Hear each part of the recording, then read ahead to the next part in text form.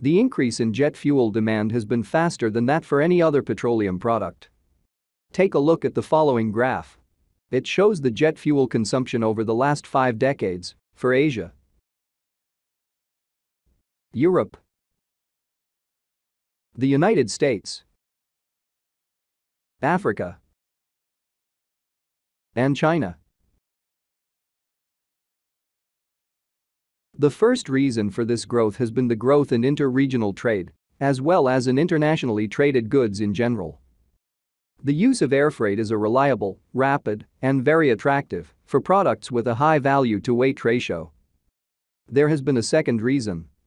The strong growth in passenger traffic, resulting from a combination of the increasing standards of living, leading to a boom in holiday travel, and the growth of global business, as well as from lower fares. The lower fares result from technological progress and, more recently, to increased competition within the sector. For long-distance business or holiday travel, no other means of transport can compete with air travel for speed. Technological progress has made today's aircraft far more fuel efficient than before. Fuel consumption per passenger has also dropped in a significant way following the increase of aircraft size.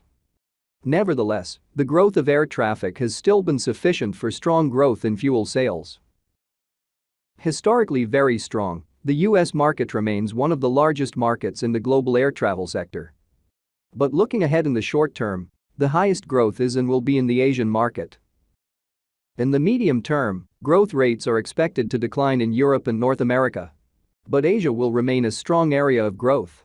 The great potential in countries such as India or China is just impressive.